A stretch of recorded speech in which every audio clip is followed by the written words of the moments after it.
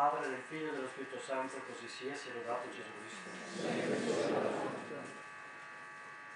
Festa di San Pio X, di cui sappiamo la salma raggiunge anche il suo paese di nascita Riese, 30 km da qua, è un momento in più di festeggiare il Santo Papa, Santo Papa Veneto e dopo San Pio V, l'unico Papa canonizzato, poi le altre autocanonizzazioni le lasciamo in disparte. Ebbene, giustamente Santa Madre Chiesa applica a San Pio X il Vangelo che Sant'Agostino in semplici parole spiega il pastore, e per quanto più il pastore dei pastori, deve pascolare le pecorelle di Gesù e non le proprie pecorelle. Caro o fratello, queste sono parole che valgono in special modo per i pastori a qualsiasi livello. È molto facile pascolare se stessi negli altri. Dunque queste, questo insegnamento di Gesù Cristo, questa è la messa alla prova di San Pietro e di grande insegnamento per i successori di San Pietro e per tutti quelli che in un modo o un altro partecipano al governo della Chiesa. Le pecorelle non sono le nostre pecorelle, le pecorelle sono le pecorelle di Gesù Cristo. E gli agnelli la stessa cosa, dunque non solo i fedeli, ma gli stessi anche pastori, tutto il clero.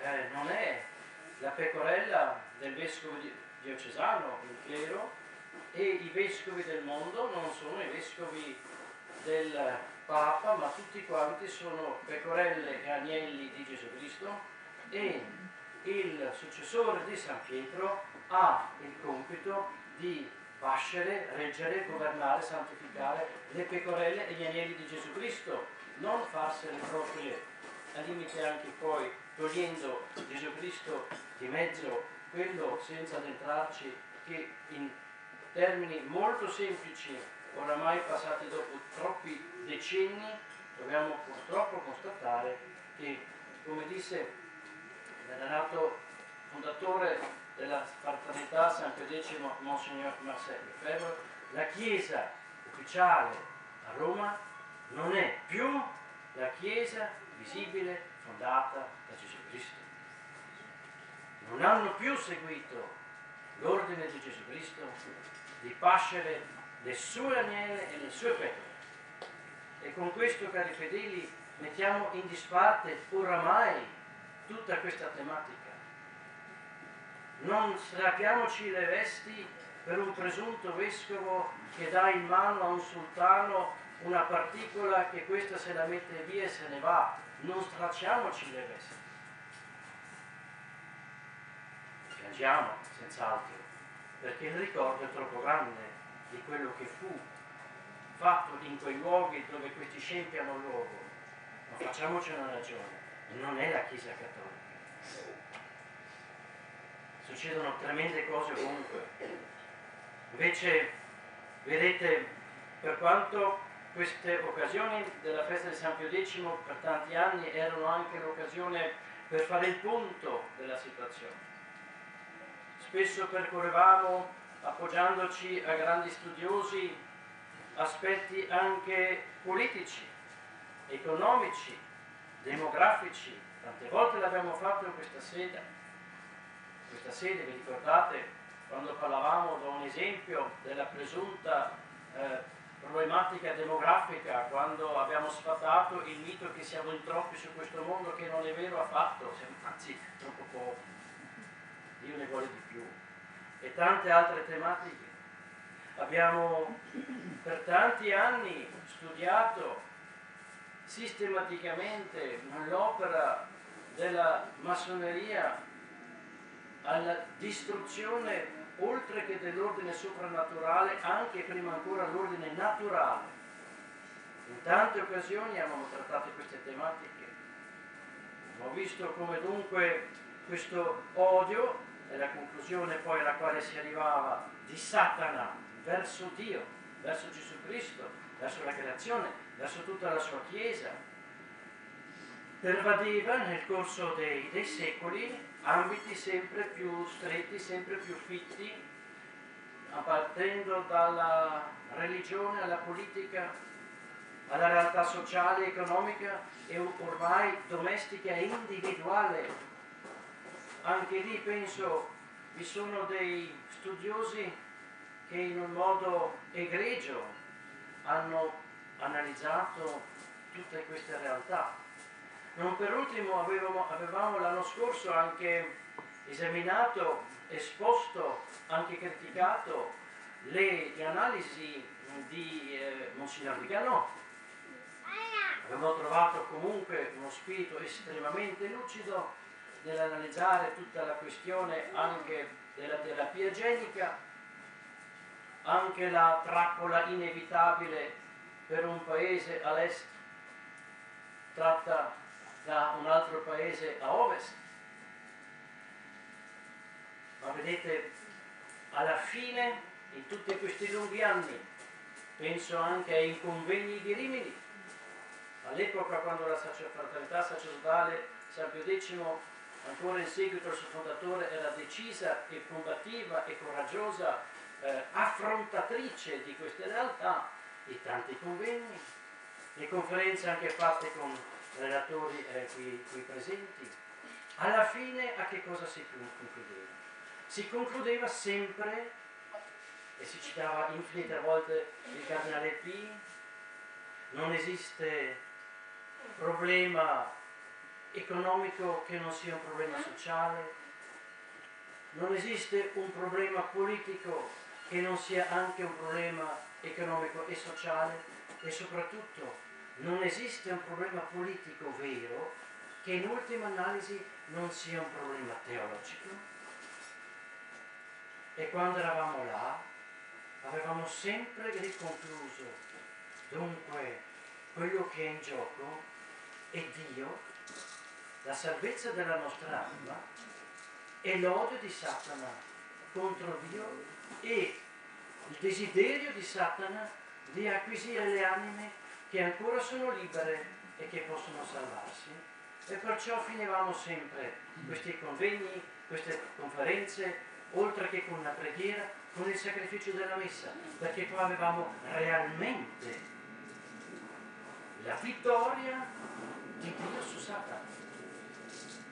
Questa vittoria è stata espletata in un corpo umano e in un'anima umana, da un uomo che al convento ora Dio è Gesù Cristo. Perciò, cari fedeli, in questo oggi voglio trattare non l'analisi di quello che sta succedendo e che è successo nel mondo, non fare carrellate storiche degli sviluppi di tutte queste eh, realtà di cui abbiamo parlato, io voglio darvi subito l'arma, l'arma non segreta, l'arma pubblica. L'arma che potete portare. Sapete, ho conosciuto i sacerdoti in Albania, quelli che sono stati arrestati e incarcerati per decenni. E mi dicevano, veniva la polizia. In casa con la mitragliatrice, ci toglieva tutte le immagini sacre, perquisiva tutto. E mi fa Don Simone Giovanni. Io li ho chiamati indietro e ho detto, tu hai dimenticato una croce grande, dov'è la croce qua? Eccola qua. Questa non la puoi portare via, solo che a lui l'hanno portato via. Eh, l'arma, la vera arma, non segreta, anche se misteriosa, la vera arma è spirituale, cari e come abbiamo appena visto, è il Cristo con la sua divinità e lo strumento dell'umanità che sconfigge Satana, così come l'ha sconfitto duemila anni fa, così vuole continuare a sconfiggerlo giorno per giorno nei suoi membri, nei membri del suo mistico corpo che siamo noi. Qual è dunque, e cominciamocene, la grande arma che vince il modernismo, diciamo la totale perversione della mente. Sapete, se qui dovessimo esaminare cosa significa la perversione della mente, anche del ragionare umano del modernismo, scopriremo che la pazzia assurda di un uomo che si vuole fare donna e di una donna che si vuole fare uomo è, è dir poco in paragone alla perversione mentale della cosiddetta filosofia moderna, che è vecchia come la perversione di Satana. San Pio X ce lo dice, il vero antidoto, il trionfo sul modernismo, ce lo dà lui, ma non solo. Lui dice vi do anche l'arma che sconfigge il socialismo, non il socialismo nel senso di una delle tante partiti di, di, di sinistra, no, il socialismo nel, nel senso di socialismo politico, perciò come dicevamo il socialismo teologico, socialismo di Proudhon, quelli che fondano il socialismo sul fatto che è Dio il colpevole del male nel mondo e perciò dichiariamo guerra a Dio e una volta ucciso Dio non c'era più male nel mondo, più perverso di così, oltre che ridere fa piangere. San Pio X ci dice io vi do, io vi do l'arma per sconfiggere non solo il modernismo ma il socialismo. Ebbene mi sono deciso cari fedeli, in poco tempo di consegnarvi questa arma. Ci vuole però il porto d'armi nel battesimo e poi ci vuole allenamento e siamo arrivati. Dice San Pio X, Exercitiorum Spiritualium 8 dicembre 1904 abbiamo sempre tenuto in grande considerazione l'attitudine agli esercizi spirituali e non potreste certamente fare un'opera migliore per soccorrere il popolo oggi esposto a così grandi pericoli. Il metodo di Sant'Ignazio è particolarmente adatto a prevenire le menti e i cuori dalle insidie nascoste del modernismo e a non lasciarsi ingannare dalle menzogne dei socialisti.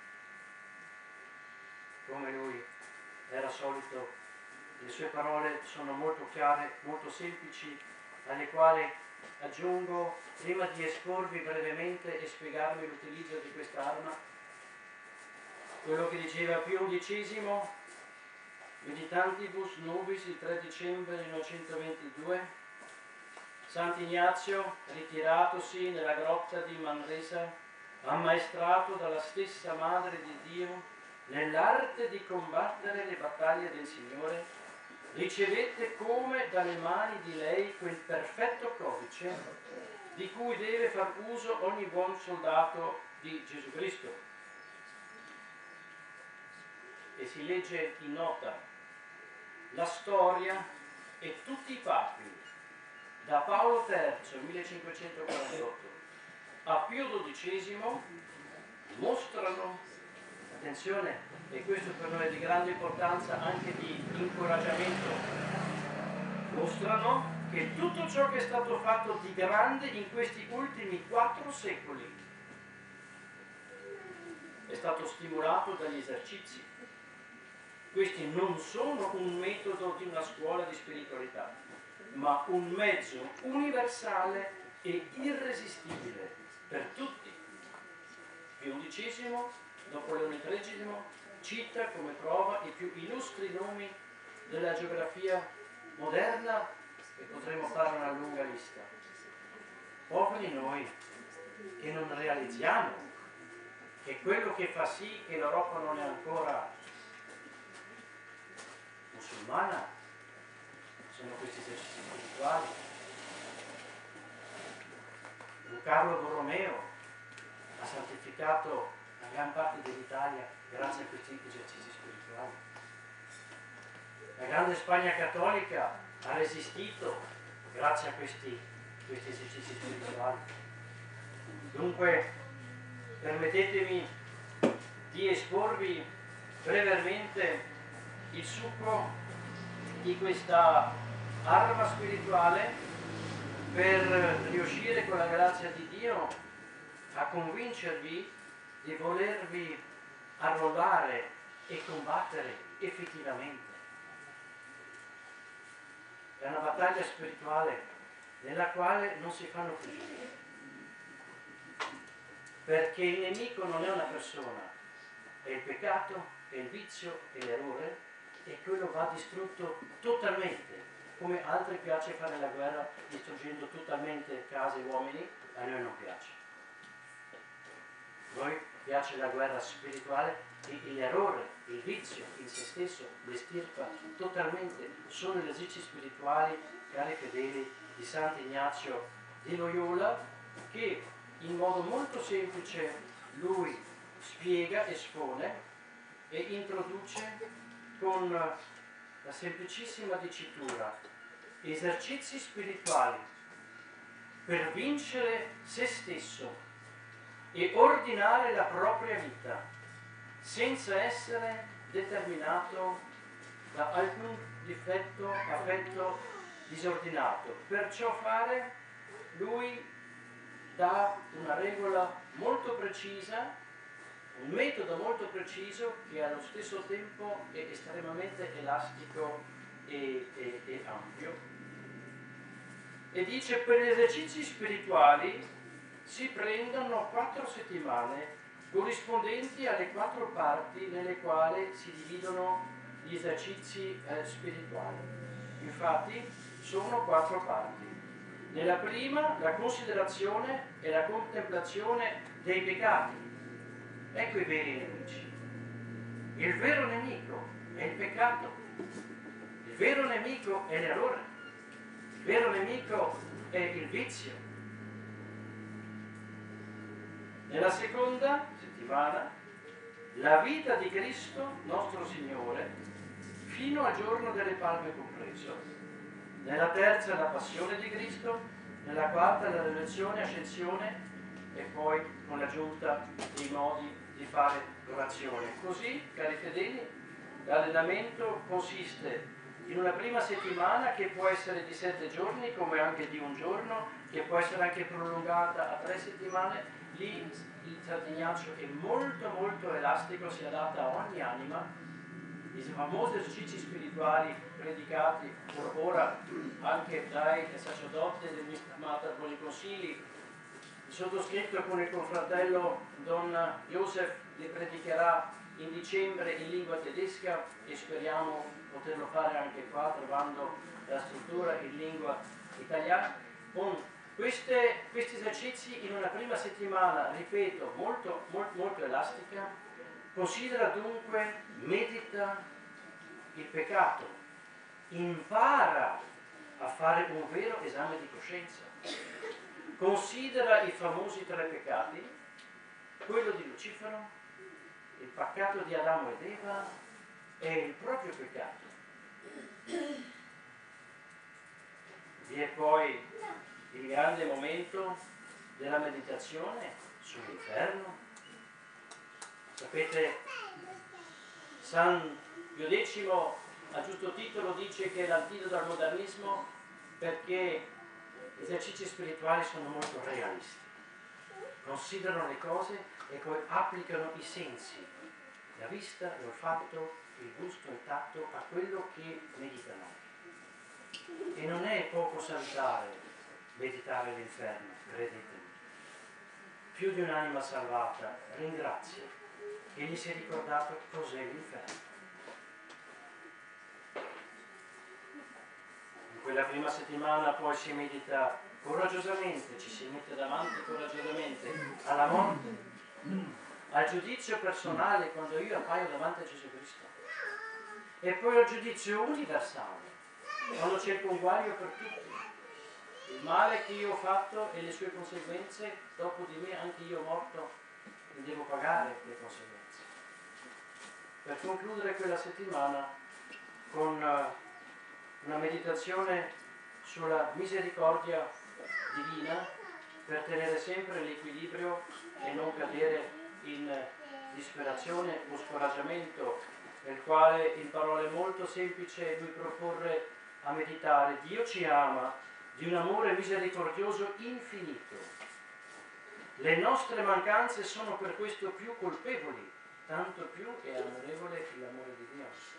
L'amore esige confidenza, non aggraviamo le nostre mancanze dubitando dell'amore di Dio per noi. Il Sacro Cuore di Gesù immagine dell'amore infinito di Dio per noi. E così si conclude questa prima settimana, dopodiché si inizia a meditare sull'incarnazione, sulla nascita, sulla presentazione al Tempio del bambino, l'infanzia del nostro Signore Gesù Cristo e due momenti che poi sono di massima importanza in applicazione alla nostra vita.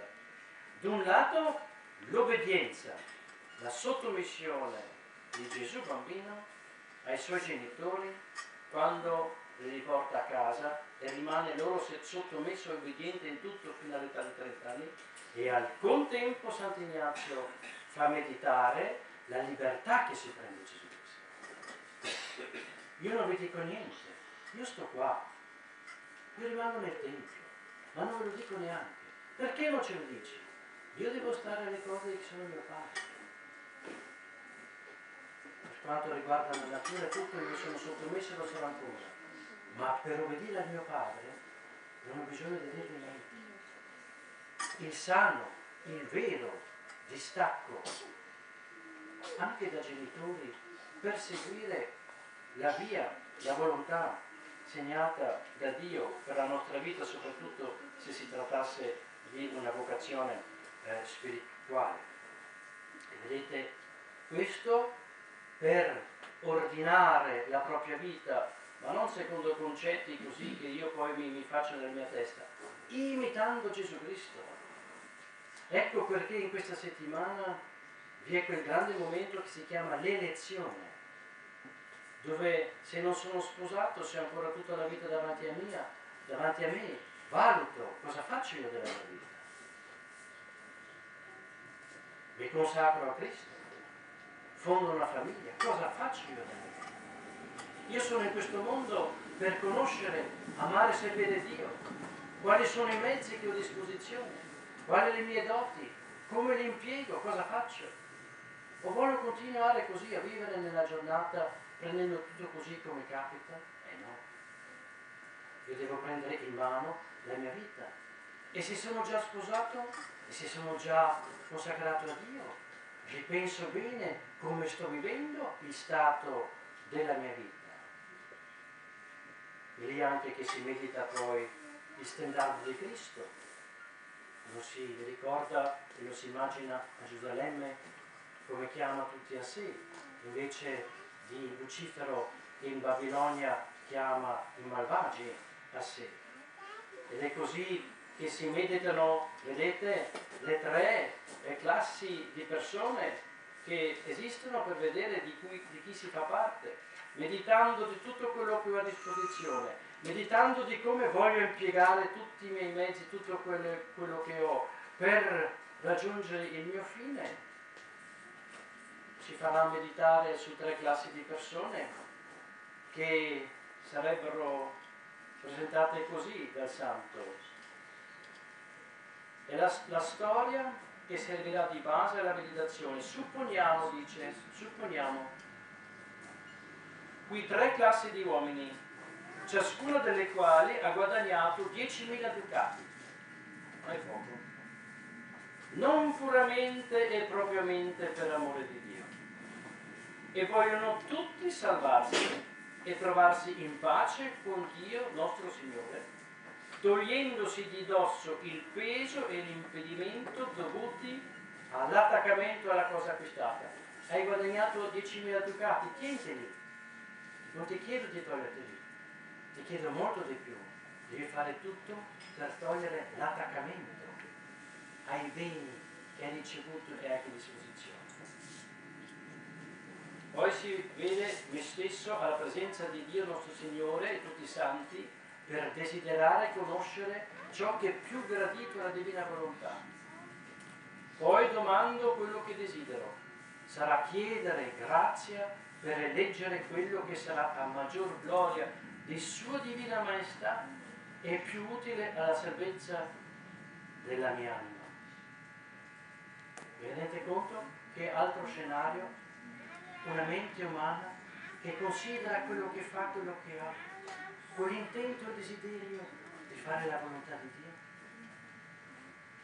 Forse ci scopriamo quotidianamente molto lontani dalla preoccupazione di piacere a Dio con tutto quello che faccio e con tutto quello che però estremamente informati se è vero che russi fin là, invece gli ucraini fin là, se è vero che sono i droni o non i droni, che hanno battuto o non hanno battuto, chi ha vinto di più, chi ha vinto di meno, la, la, le false notizie, ah, siamo assetati e interessati giorno e notte a sapere le notizie, le notizie, le notizie. Ma se io questo lo faccio per la più maggior gloria di Dio, no, no, boh, sì, beh, sì, boh, non so, siamo disarmati. La seconda classe vuole lasciare l'affetto, ma a condizione di mantenere la cosa posseduta, così che Dio venga là dove lei vuole. Anche questo esiste. No, no, io sono molto attaccato a tutto quello che ho e che sono e, e, e desidero che Dio mi venga dietro, perché intanto non è mica cattivo quello che ho e che faccio, però lui deve venirmi dietro. E ah, io, io sì sì credo in Dio, però Dio deve fare come dico io. Io devo guarire, io devo diventare sano, io devo passare l'esame, devo raggiungere questo posto di lavoro e allora mi va bene. Guai se non va bene a Dio, allora non va bene a Dio e ci si rivolta. Come è possibile che Dio ha permesso che io adesso mi sono amato? Eh, la seconda classe di persone non ve ne meravigliate uno su tre così secondo Sant'Ignazio. La terza classe vuole lasciare l'affetto, ma in tal modo da non avere affezione a conservare o abbandonare la cosa acquisita. E vedete, questo è il grande momento di Sant'Ignazio, la santa indifferenza. Perciò è lodato da tutti i papi, perché questi esercizi, queste regole che dà, sono di una saggezza incredibile va agli estremi senza oltrepassarli e tiene sempre la misura, lo vedremo ancora in un altro momento, cioè nella terza settimana, quando si medita la vita di Gesù Cristo per ordinare la propria, imitando Lui, quando si medita l'ultima cena, la passione, Via Crucis, la morte e la sepoltura, e lo si fa sempre nel vivo intento di riordinare la mia vita imitando Gesù.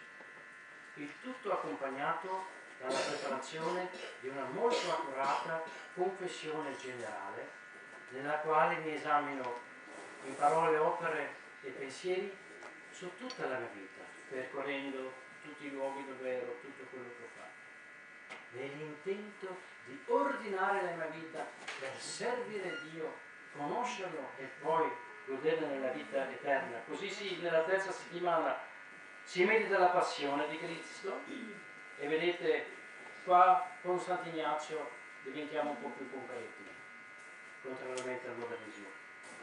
Passione di Cristo vuol dire penitenza, espiazione, soddisfazione dei nostri peccati. Passione di Cristo vuol dire sofferenza fisica,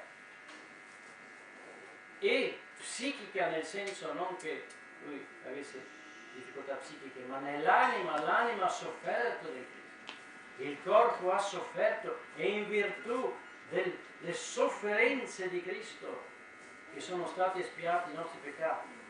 Lo ripeto, questa è l'arma che distrugge il modernismo. Distrugge il modernismo di Ratzinger che piange della deviazione, della devozione che lui trova ancora nelle vecchiette in Germania, che credono che Gesù Cristo ci abbia salvati per il dolore. Lui dice nella prossima riforma liturgica chiederò che sarà tolto questo aspetto e l'ha ottenuto. La nuova messa non parla più di sacrifici, espiatorio e propiciatorio della messa. E questo lui lo scrive prima della riforma liturgica. Questo è il modernismo, questo è il nemico, l'errore, non Joseph Ratzinger al quale auguriamo eh, la salvezza. Questo è il male da sconfiggere, è totalmente sconfiggere, perché è una perversione oltre che un oltraggio infinito a un Dio che si fa uomo e nella croce, nel versante del sangue ci, ci salva. E tu pretendi essere Papa negando questo. Ma vedete, ci infervoriamo contro questi errori e facciamo bene, ma nell'esercizio poi la terza settimana chiedono, e tu? Qual è la tua imitazione in questo punto? Qual è la tua passione? Qual è la tua penitenza che ti sei imposto tu? O è una penitenza mentale che ti piace ricordare, magari comprare un bel quadro barocco dove si rappresenta magnificamente Cristo nei dolori per ammirarne la bellezza artistica, però qual è la tua penitenza? Nella prima settimana, e qui facciamo veramente, scendiamo molto nel pratico, cari fedeli, perché voglio impararvi, non parlarvi di un'arma, ma darla proprio in mano affinché potete anche utilizzarla. Nella decima addizione della prima settimana vi parlo della penitenza. La penitenza che si divide in interna ed esterna. Interna è dolersi dei propri peccati con il fermo proposito di non ricadere più in quelli degli altri. L'esterna, iniziamo intanto con l'esterna, è frutto della prima e consiste nel castigarsi per i peccati passati e si pratica principalmente in tre maniere. La prima riguarda il mangiare. Qui notiamo che quando lasciamo il superfluo non è penitenza, è temperanza. E penitenza invece quando lasciamo del conveniente e quanto più ne lasciamo, tanto più è grande e migliore la penitenza. Oh grande saggezza, purché non venga danno alla persona e non ne segua, ascoltate bene, infermità notevole. In testo italiano vorrebbe dire la penitenza nel mangiare ha come normale conseguenza che ti, ti riduce all'infermità. Poi quando diventa notevole e troppa, magari mangi un panino in più. Questo è penitenza. A me mangio sempre poco, benissimo. Ma allora, allora, allora semmai eh, sei misurato, ma non fai penitenza. Io sto parlando dell'arma che sconfigge modernismo e socialismo, mondialisti, tutti con i nomi e cognomi. Questa è l'arma che sconfigge. La seconda riguarda il modo di dormire. Parimenti non è penitenza lasciare il superfluo nelle cose che lusingano la nostra delicatezza e sensualità. Vale per tutti, anche per i consacrati, non solo per gli sposati. Ma è penitenza quando nel modo di dormire si toglie del conveniente. E quanto più, tanto meglio, purché non ne venga danno alla persona e non ne segua infermità notevole. Infermità può pure seguire né tantomeno si lasci del sonno conveniente, se non quando si avesse abitudine viziosa di dormire troppo per arrivare alla giusta misura. Mangiare e dormire. La terza è castigare il corpo, infliggendogli, cioè dolore sensibile. Poi lui dice però che non deve andare fino alle ossa e non indebilitare troppo. Noi purtroppo ridiamo. Ah, L'Islam è stato vinto con queste evidenze. Il comunismo dittatoriale nella sua più feroce misura ci è stato risparmiato finora dopo la seconda guerra mondiale grazie a queste evidenze. Vogliamo liberarci dalla dittatura mondiale che ci sta togliendo tutto. Questa è l'arte. Praticata, deve essere praticata da tutti. Nel mangiare, nel dormire e nel corpo. Vale per tutti. Esiste un modo misurato di mangiare, esiste un modo misurato di dormire, esiste un modo legittimo e misurato di usare il matrimonio, esiste anche un modo esagerato di mangiare e di usare il matrimonio. Una volta che ho regolato a moderazione e giusto, non ho ancora iniziato a fare penitenza. Mercoledì delle ceneri, lo sposo abbandona il paramo. Dov'è questo senso di penitenza? Dov'è la realtà, la sete, il desiderio in noi di questa penitenza? Dov'è il desiderio di voler vincere con Gesù Cristo le mire di Bill Gates? Dov'è? Sul cellulare?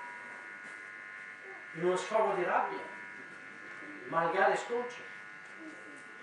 Dov'è? Non c'è. Noi ci meravigliamo che il male avanza sempre e non ci meravigliamo che noi il bene non lo pratichiamo. Ci contentiamo di constatare l'analisi del male, ma il bene, con tutto quello che richiede e fa, non lo facciamo. Questa è la ragione per la quale per i fedeli forse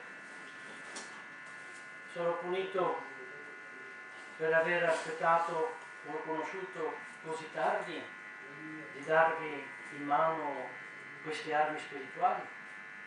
Senz'altro negli anni passati abbiamo fatto grandi analisi, coraggiose analisi, che ci valevano anche persecuzione e tutto, ma io devo pascere le pecorelle di Gesù Cristo.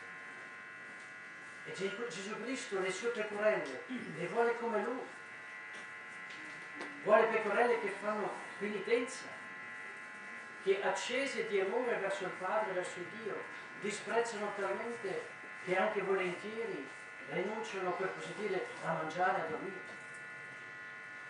Con un Cristo che passava la notte intera a, a vegliare.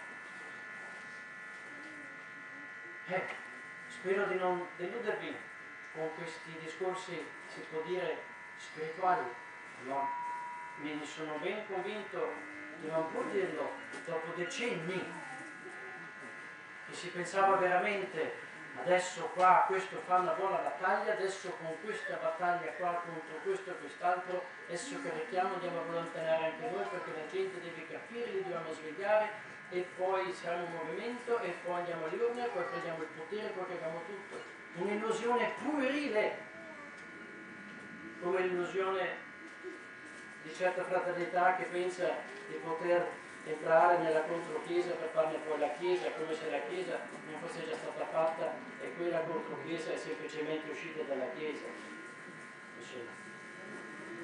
Dobbiamo diventare realisti. Noi senza vera penitenza che inizia sul nostro corpo, nel nostro piatto, nel nostro letto, non arriviamo da nessuna parte.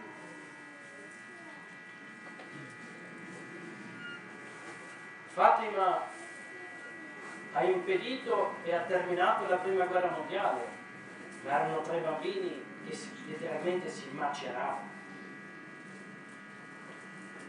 Dunque non c'è scelta per noi, caro un fratello, per noi innanzitutto, di non se non seguire questa strada che i papi tutti, da Paolo III fino a Pio XII incluso, hanno dichiarato essere il miglior metodo e Pio XII ha risposto alla obiezione perché già si faceva l'obiezione sì, però il Settecento era un altro secolo, la gente poi anche era più vigorosa, era più forte e poi non bisogna adattarsi ai tempi, non si può sempre chiedere tutto a tutti. Allora Pio XII risponde e con questo chiudiamo, non è certamente vero che questo metodo abbia perso efficacità e non corrisponda più alle esigenze dell'uomo moderno e certo, uno dice come, io devo mettere un cilicio, cioè devo prendere una cordina per flagellarmi, ma questo lo vedo nel film, non lo faccio mica io.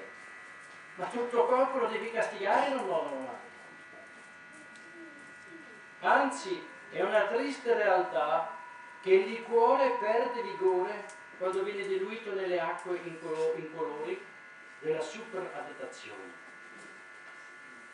E la macchina perde potenza quando vengono smontati alcuni pezzi fondamentali dell'ingranaggio ignaziano, con questo sfatta il mito Pio XII, erano altri tempi, adesso è il tempo dell'industrializzazione, della macchinizzazione, non si può più operare come operava San, eh, Sant'Ignazio chiedendo la castità, chiedendo il digiuno, chiedendo l'afflizione, questo è, è, superato, adesso bisogna, è, una, è, una guerra, è una guerra intellettuale, bisogna combattere le idee, No, no. Devi fare penitenza a tavola, a letto e sul piatto e così avrai combattuto le idee. E le avrai vinte le idee. Paradossalmente, perfino nella Chiesa moderna, gli ordini contemplativi severissimi hanno ancora tante vocazioni. Noi dobbiamo essere severi con noi stessi, imbracciare questa arma e perciò vi invito a prendere il vostro taccuino e al più presto prevedere quando cadete i cinque giorni degli esercizi spirituali e spero molto che l'anno prossimo, quando festeggeremo di nuovo San X, se Dio vuole, una gran parte avrà fatto esercizi spirituali. Dio volendo ci diamo da fare se troviamo le strutture anche di farle in Veneto che per intercessione della Santa Vergine Maria di San X questo possa farsi anche con il vostro aiuto nel nome del Padre, del Figlio e del Spirito Santo, così sia, sia arrivato Gesù Cristo.